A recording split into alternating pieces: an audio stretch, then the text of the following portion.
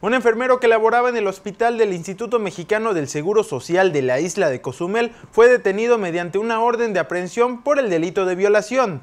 Agentes de la Policía Ministerial Investigadora cumplimentaron la orden en contra del enfermero de nombre Juan Gabriel por el delito de violación en agravio de una mujer de identidad reservada. La detención se llevó a cabo en la colonia Independencia.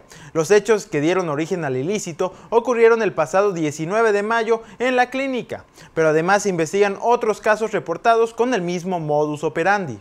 Y es que trascendió que este sujeto anestesiaba a sus pacientes para luego abusar de ellas. Lo anterior fue resultado de una denuncia hecha por cinco derechohabientes, lo que derivó en que se abriera una investigación en contra del presunto, quien ya se encuentra en la prisión y bajo proceso penal.